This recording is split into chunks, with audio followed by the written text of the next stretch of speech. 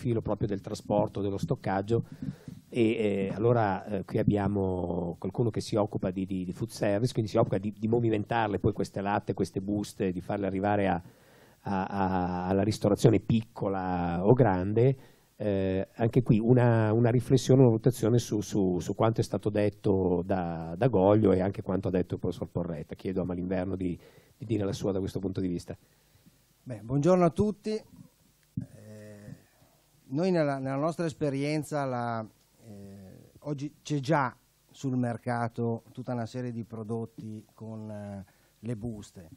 Quello che è importante secondo me è verificare un po' il discorso di, di capire un attimino è il discorso ehm, nelle grandi città, nei, nei, grossi centri dove c'è meno spazio funziona di più il discorso della busta. Nelle altre parti, tutto sommato, si sta un po' eh, girando un po' macchia di leopardo come, come performazione della, della busta, sta, sta, entrando pian piano nel, nel, nel, nel panorama del, del, del, pizzaiolo, comunque del, dello chef. Il problema è che forse oggi alla televisione ci sono degli chef, ma eh, nei ristoranti non ci sono più questi chef.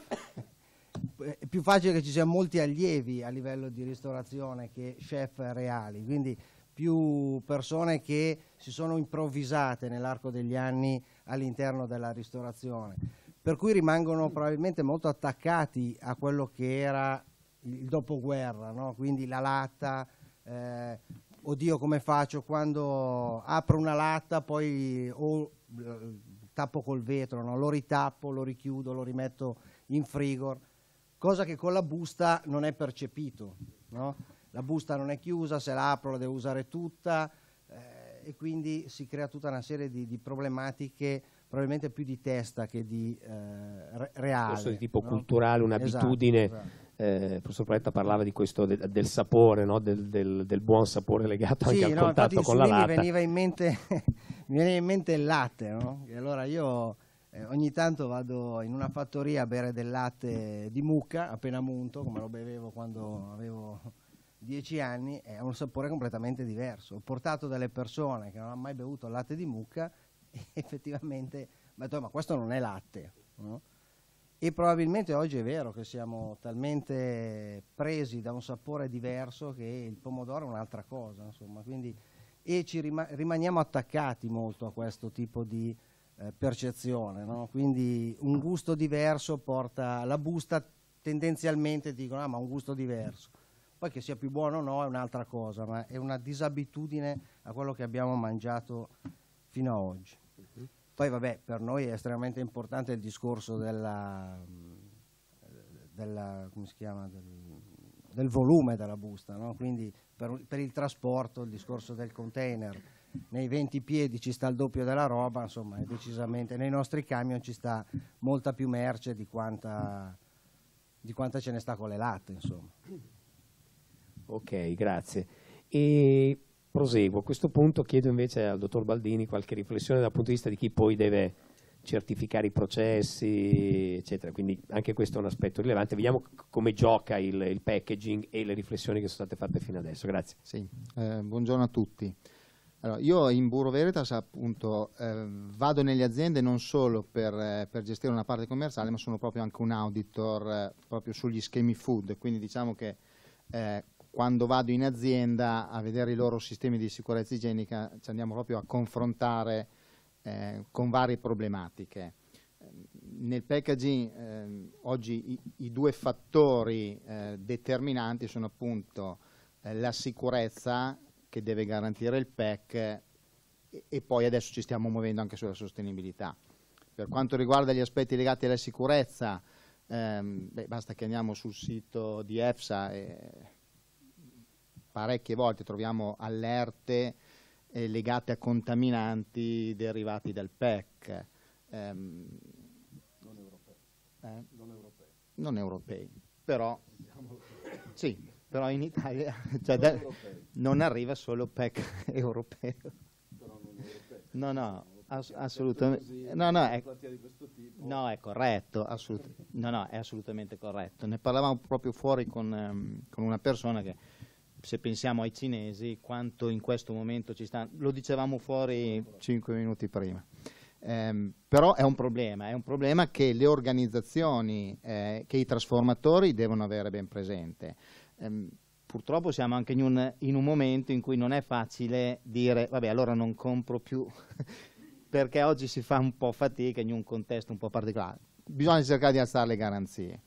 Eh, sicuramente quello che vediamo noi è che anche gli organi di controllo eh, quando vanno a fare le loro ispezioni non si fermano solo a guardare gli aspetti legati eh, ai processi di trasformazione, ma vogliono anche capire eh, quali sono le garanzie che eh, l'azienda sta cercando sul proprio fornitore proprio per evitare queste, queste problematiche qua. Ehm, io sono anche, ehm, sono anche, convinto che comunque se noi ripercorriamo gli ultimi 20-25 anni ehm, Oggi il prodotto che arriva sul, sulla tavola del consumatore ha un livello di sicurezza decisamente più alto eh, e continua ad aumentare e questo è sicuramente dovuto a tutto l'impegno della filiera.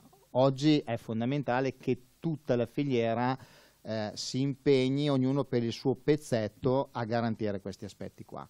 Ehm, noi vediamo che anche la, ci sono delle multinazionali leader nel settore food che stanno orientando le loro, le loro verifiche presso, presso, i loro fornitori ehm, anche su requisiti specifici legati al PEC. Ai loro fornitori di PEC chiedono anche delle certificazioni, eh, ce, ne sono, ce, ne sono, sempre di più anche di certificazioni, di certificazioni volontarie legate legate a questi MOCA qua, a questi materiali a contatto con gli alimenti.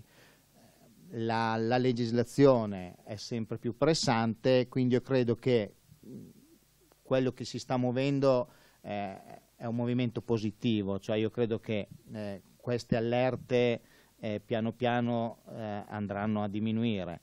Poi vedremo se sarà solo perché non compreremo più da certi attori o se riusciremo anche ad alzare il livello di tutti gli altri competitor. Ecco. Questo è essenzialmente quello che vediamo in giro. A livello di sostenibilità è un altro tema che incomincia a muoversi, ehm, anche se c'è ancora un po' di, eh, di titubanza, di, eh, di, incertezza, cioè le aziende eh, vogliono comunicare la loro sostenibilità, ehm, devono ancora capire esattamente come comunicarla lo, dicevamo, lo, lo, si diceva anche all'inizio, eh, la sostenibilità sicuramente un discorso di conto economico dell'azienda, sicuramente un discorso di responsabilità sociale ed ambientale, sicuramente anche un aspetto eh, di comunicazione. Oggi chi arriva prima su certi temi di sostenibilità avrà un vantaggio competitivo, fin quando poi, insomma, 30 anni fa si faceva la qualità, poi si è fatta la sicurezza igienica e pian piano arrivano tutti, adesso andremo a fare anche sostenibilità.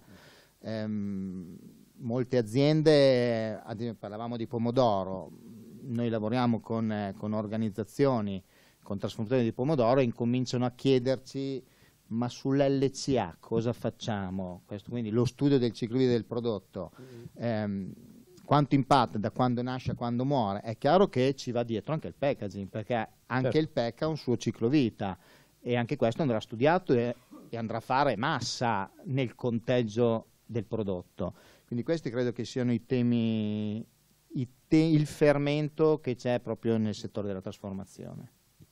Ok, gra eh, grazie. Finirei il giro con eh, il dottor Lironi eh, chiedendo da, dal vostro punto di vista che cosa, che cosa, ci potete dire? Prego. Buongiorno, mi scuso dell'intervento. No, è una tavola no, no, vabbè, eh, dell'intervento facciamo, precisiamo, al, precisiamo. Primo al primo giro forse non era il caso di precisare.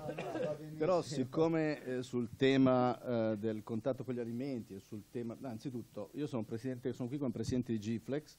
Gflex è l'associazione dei converter italiani, cioè dei trasformatori, dei produttori imballaggio flessibile italiani. Associati abbiamo 35 aziende. Eh, diciamo che è uno dei pochi comparti che negli ultimi anni, compreso l'anno scorso, è riuscito ancora a fare occupazione, grazie al fatto che il settore imballaggio flessibile italiano ha aumentato le esportazioni rispetto al prodotto interno, quindi siamo riusciti a superare, arrivare al 52% di prodotto esportato rispetto al prodotto totale. Quindi vuol dire che le aziende italiane hanno know-how e fanno qualità, ma soprattutto sono aziende che dal punto di vista certificativo, dal punto di vista del food contact, hanno sempre eh, rispettato più di quello che addirittura in certi momenti, in certi anni la legge chiedeva. All'interno di Gifles c'è persino un gruppo di lavoro che si occupa degli allerta e che quindi, quando ci sono degli allerta come quelli che venivano citati prima, eh, mette al corrente gli associati di ciò che sta succedendo. Per cui quando io dicevo non sono italiani, non sono europei, è perché eh, lo so, lo, lo, lo, valutiamo ogni sei mesi, eh, ogni due mesi facciamo delle riunioni in cui portiamo l'andamento di questi allerta. Allerta che sicuramente sono preoccupanti perché possiamo sempre sapere se quella barretta di cioccolato è stata prodotta al di qua o al di là del, vol, de, del, del confine est-ovest? Lo possiamo sempre sapere? Possiamo sapere se quella barretta energetica è stata fatta in India oppure no? Non sempre, non sempre, basta un bel marchio e l'imballaggio che viene utilizzato per quella barretta non sempre è così chiaro dove arriva. Gflex eh, segue con attenzione perché ha al suo interno due comitati, uno che si occupa di marketing, immagine e eh, quello di cui volevo accennarvi qualcosa, che è quel libretto che trovate all'interno della documentazione che vi è stata fornita, quel libretto che si chiama IPAC, nel quale in qualche modo si riassumono un po' i concetti che, abbiamo, che ho sentito prima, essendo l'ultimo mi sembra inutile ripeterli, però trovate i vantaggi dell'imballaggio flessibile rispetto agli altri tipi di packaging, senza per questo sparare su chi fa molto più impatto ambientale di noi. Noi cerchiamo di farne poco, abbiamo anche il vantaggio di essere un imballo primario, quindi siamo a diretto contatto con l'alimento e quindi abbiamo sicuramente bisogno di meno packaging. IPAC eh, nasce, come, eh, nasce tre anni fa, eh, con, eh, tre anni e mezzo ormai, forse quattro anni fa, con l'impatto dei rifiuti a Napoli ve lo ricordate tutti, i telegiornali, i grandi, grandi, messaggi sui giornali, il packaging inquina, il packaging riempie l'Italia di rifiuti, il packaging è quello che fa aumentare il prezzo del prodotto, addirittura su certi giornali leggevamo il 30% in più di costo grazie al packaging. E eh, forse abbiamo dovuto reagire. Allora abbiamo reagito, siamo andati eh, a fare un piano di tre anni di comunicazione, il primo anno in maniera eh, nascosta, diciamo, siamo andati da quei key opinion leader, da quei giornalisti che eh, raccontavano queste cose sui giornali e abbiamo scoperto, ve la faccio breve, che alla fine ne capivano poco di packaging, ma veramente poco, che però queste notizie vendevano giornali e quindi eh, abbiamo cercato di spiegarglielo.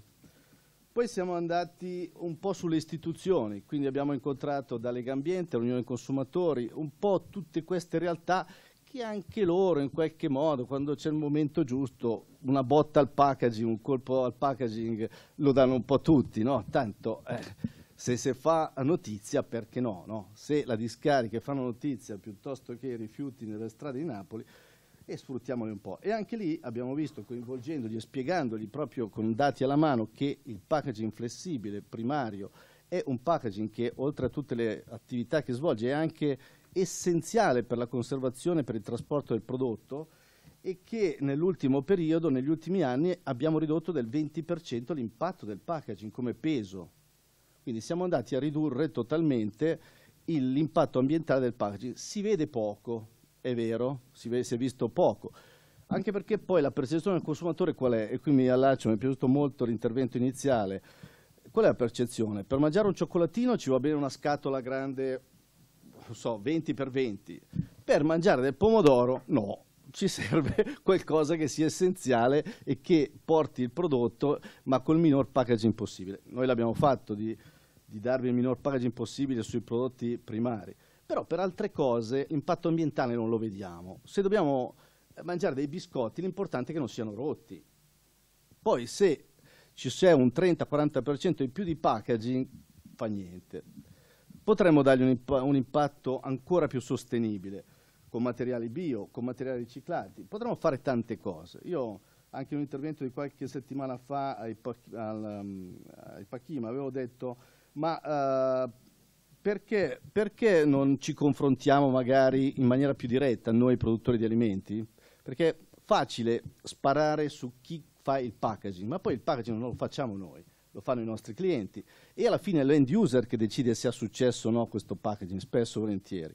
e se per una scatola di cioccolatini abbiamo bisogno di uno scatola da 20 x 30 lo decide lui che quella è la scatola ideale. Noi potremmo darli a quel produttore di bonbon probabilmente un materiale da 20 micron, 17 micron che fa lo stesso lavoro, conserva il prodotto e lo dà al cliente nel migliore dei modi anche con un food content garantito, perché poi tutto quel PVC che ci sta intorno io non so bene cosa sia, non lo voglio sapere, però c'è, una, una, vaschetta sotto, c'è un bonbon ricoperto di alluminio stampato, laccato, cose di altro tipo, fuori c'è una scatola, non si sa bene se poliestere, PVC o cos'altro, e, e tutto ciò col food conta, poi da dove arriva non si sa.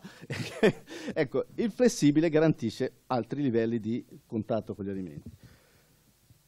L'ambiente è la stessa cosa, andando a fare queste riflessioni durante questo uh, tipo di intervento ci siamo accorti poi che, uh, perché il percorso finiva con l'end user, col consumatore finale e ci siamo accorti andando nelle scuole, perché per noi il consumatore finale abbiamo identificato come lo studente, perché questo? Perché lo studente del liceo forse sarà quello che realmente capirà gli sforzi tecnologici di innovazione sulle materie prime, sulle lacche, su tutto ciò che sta facendo il mondo del packaging, perché oggi la sensibilità o forse le normative non ci aiutano nemmeno nello sviluppo tecnologico.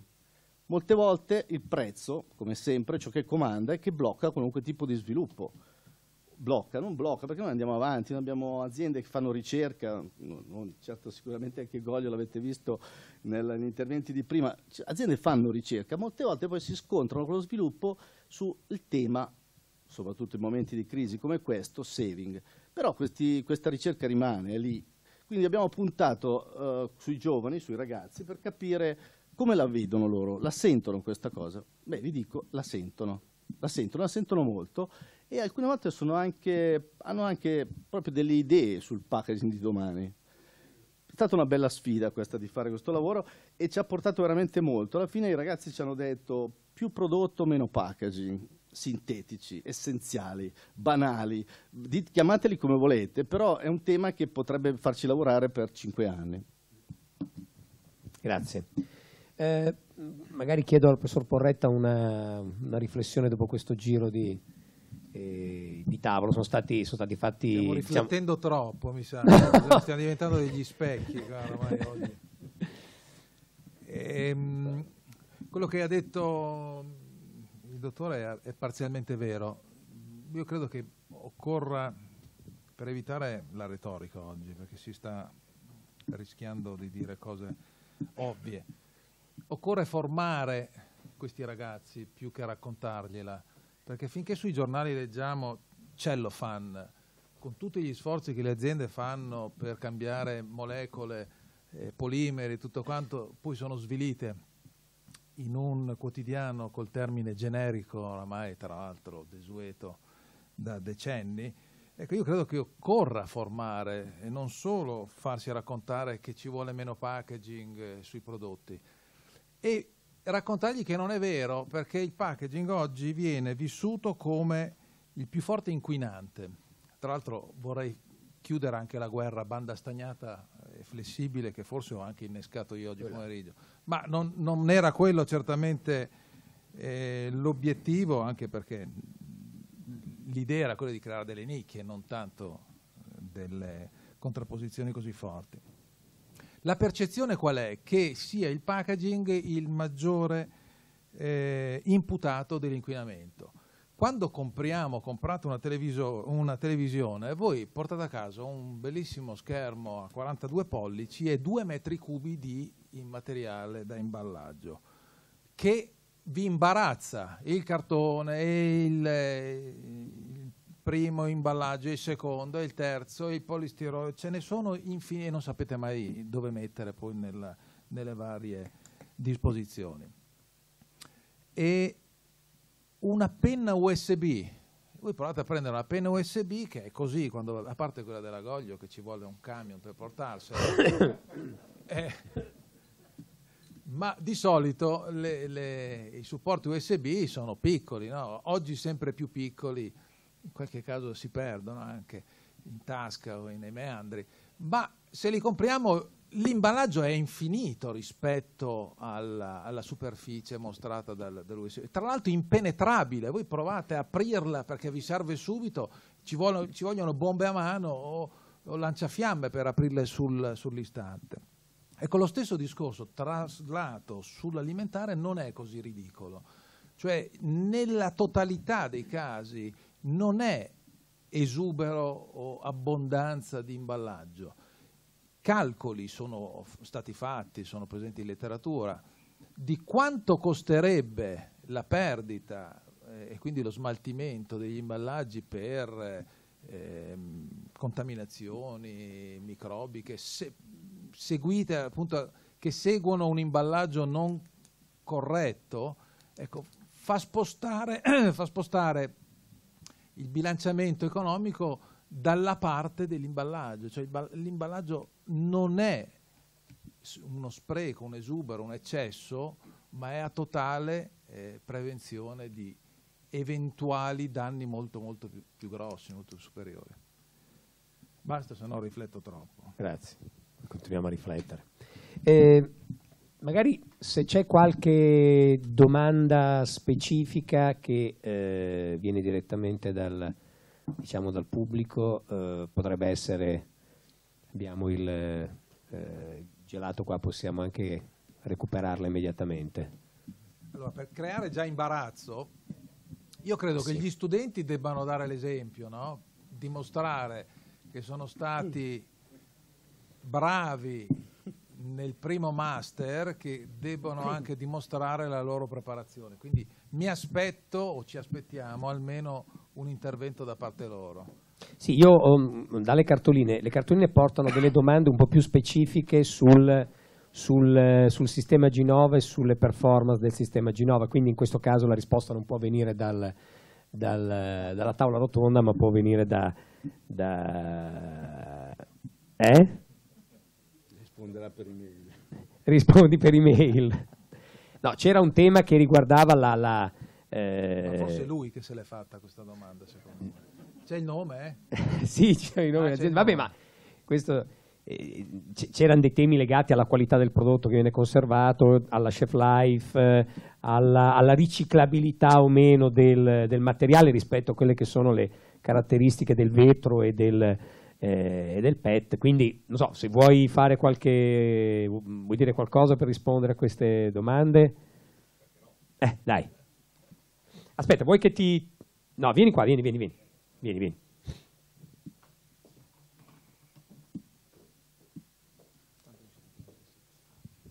Allora, vi... sì, funziona. Sì. Cioè, visto che si parlava della ehm, reciclabilità, no? Eh, da recente eh, sono stato invitato anche un, a un convegno dove proprio si parlava di riciclibilità. No? C'è stato un grossissimo dibattito eh, dove c'era un, un, fornitore diciamo, di un materiale diciamo, più o meno flessibile no? che ha detto guarda, cioè, alla fine quando parliamo di riciclare anche sia diciamo, un materiale flessibile, mh, mm, si stiamo parlando di barriera eh, sappiamo cosa c'è a metà. Lascia stare se diciamo quello che abbiamo da una parte all'altra è un materiale plastico o un cartone e con questo l'ho detto già tutto. No?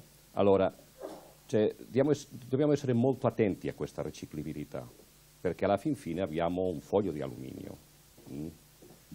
e sappiamo tutti che diciamo, quello non è, che diciamo, è, è tutta plastica, c'è l'alluminio che in qualche modo si deve separare. No? Quello che è vero quando si parla diciamo, di tutta eh, questa filiera di sostenibilità non si può confondere la sostenibilità con la riciclabilità, sono cose ben diverse. No? E là c'è una separazione, sia plastica sia cartone. C'è la barriera, che tra l'altro abbiamo parlato diciamo, della qualità organolettica. Tra l'altro la banda stagnata è, è riciclabile al 100%. Adesso giusto sì. per no, no, no, ribadire quanto non volevo si No, no, no, no, guardi, cioè, eh, anzi, li ringrazio il commento perché voglio dire, mh, ho detto che era un pessimo venditore e voglio dire, non, non si può vendere fumo, si devono dire le cose, diciamo, Beh, come, come, sono, cioè, non, non, si può dire no, guarda, cioè, l'imballaggio flessibile è riciclabile al 100%, no perché voglio dire c'è gente che per fortuna, cioè, e grazie anche a questi master, eh, vengono educate e capiscono esattamente, eh, Questo è un grazie. Caffè pagato. grazie. Mille. No, sono cose che vanno dette per il suo nome, che diciamo il mio paese. Non, non si può, non, si può, non si deve confondere la gente, se no si fa una grossa confusione che diciamo giochi in contro nostro. Posso, posso rispondere, visto che sono stato io a parlare di riciclabilità? Oh. Eh, io parlavo di riciclabilità perché si possono utilizzare materiali con parti riciclate per fare imballaggi flessibili e non mi dica che teoria perché glielo dico che si possono fare. I costi sono superiori, però si possono fare. Oggi un film di poliestere a causa della situazione mondiale costa quanto un film di polipropilene, quindi neanche 2 euro al chilo. E un film riciclato di poliestere può costare 3, però si può fare, cioè si può inserire del film, del film, dei materiali riciclati all'interno di un packaging alimentare. Come lo fanno chi fa le bottiglie oggi col 50% di prodotto riciclato. Questo si può fare. Io intendevo questo. Poi che si possa riciclare un prodotto pluriaccoppiato con alluminio, questo sicuramente no, però si può creare energia. Si può creare energia e abbiamo esperienze personali, ce l'ho io, che in alcuni paesi come l'Olanda eh, noi abbiamo, non abbiamo discariche, noi abbiamo termovalorizzatori che permettono di ottenere dal poliaccoppiato combustibile, gas combustibile e residui di alluminio. E questo non deve scandalizzare nessuno perché l'Olanda non penso che respiri molto peggio di quanto respiriamo noi. Noi magari in Italia mandiamo i nostri treni, e non è teoria, mandiamo i nostri treni in Germania per dare calore gratis e pagando per farli smaltire. Questa è la realtà. Allora, la plastica pluriaccoppiata, se per me riciclato vuol dire creare energia, è riciclaggio anche quello. Poi certo, se lo prendiamo nel suo concetto base, io faccio un imballaggio flessibile per pomodoro e eh, lo riutilizzo dopo, questo no, questo assolutamente no, perché abbiamo anche tutti questi problemi. Però riciclare non è che deve essere inteso in maniera assoluta. Scusa, ma è una precisazione che va fatta perché è flessibile ha dei vantaggi, molti vantaggi. Eh, un altro tema che emergeva era legato alla, ehm, di questo discutevo anche con, con eh, Malinverno nel, nel- nel break, rispetto alla cultura tipica del eh, ristoratore, de- de- del pizzaiolo, comunque del ristoratore che usa la, la- la- la- la lattina di, di pomodoro. Uno era il tema della eh, la lattina da la, banda stagnata dà un'idea di maggiore robustezza, di maggiore capacità di proteggere il prodotto, uno, Ehm, e quindi magari ti chiedevo un, un- un elemento in più da questo punto di vista, circa la capacità del, del, del- dell'imballaggio flessibile, e due, eh, l'idea, un'idea, è, è cultura, che eh, appunto il- il- la lattina garantisca meglio la qualità di, questi, di questo prodotto. Ne abbiamo, in realtà ne abbiamo già detto, abbiamo già parlato, ma forse anche su questo eh, è, una, è una leggenda metropolitana, in realtà forse l'imballaggio flessibile anche per, per come viene usato poi lungo il processo di produzione e di lavorazione non solo salvaguarda di più, ma addirittura migliora certe caratteristiche organolettiche del prodotto. Chiedo qualche riflessione su questo, sulla robustezza e sulla, quindi sulla capacità di essere integro e, sul, e sulla, mm, su questa leggenda metropolitana. Eh, allora, come, come fanno i politici, che no? non rispondono mai alla domanda. Allora, scusatemi.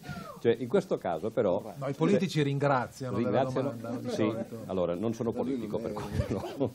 Eh, però deve dirci cos'è, perché non vende, non è politico, Eh, allora, eh, non lo so, questo dirci. chiedete al dottor Goglio che ha fatto un, gran- un grande errore diciamo, chiedendomi di venire a dare una mano. allora, ehm, cioè, mh, premessa, eh, eh, diciamo, sono molto giovane quando mi vado a confrontare con tutti voi diciamo, nel mondo del packaging. Ci sono dal 2005, vuol dire che sicuramente ho tanto da imparare ancora. E ho fatto delle esperienze, diciamo, sicuramente in altri paesi, un po' meno in, Italia, dove anche ho trovato, per esempio, che quando si parlava eh, di il flessibile e non flessibile, per esempio, ci sono dal punto di vista di utilizzo, c'è raccomandazione sanitaria o leggi sanitarie, dove diciamo, eh, il contenuto in un ristorante va versato dentro un altro contenitore. Mm, Immediatamente si apre e si mette là. Cioè, eh, esperienze in Spagna, per esempio, questo, questo è un tipo di pratica, una best practice che non esiste. no? Però, cioè, eh, quando sono arrivato, mh, cioè, mi hanno parlato tantissimo, diciamo, del pizzaiolo.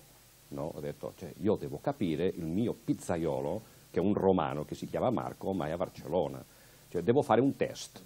eh, devo fare un test. Cioè, vado a trovare il mio pizzaiolo venerdì, arrivo là, la prima cosa è telefono a Marco, Marco, mi fai una pizza? Sì, benissimo. Allora, siamo arrivati, la prima cosa che ho fatto è dire, allora, mi fai vedere, eh, sono d'accordo con lei, il suo piccolo magazzino, c'è un problema di spazio, no? Allora, dico, fammi vedere le tue latte. E mi guarda come si dice, scusa, io non uso delle latte, uso delle buste. No? Allora, eh, cioè, ho rimasto proprio impressionato. no?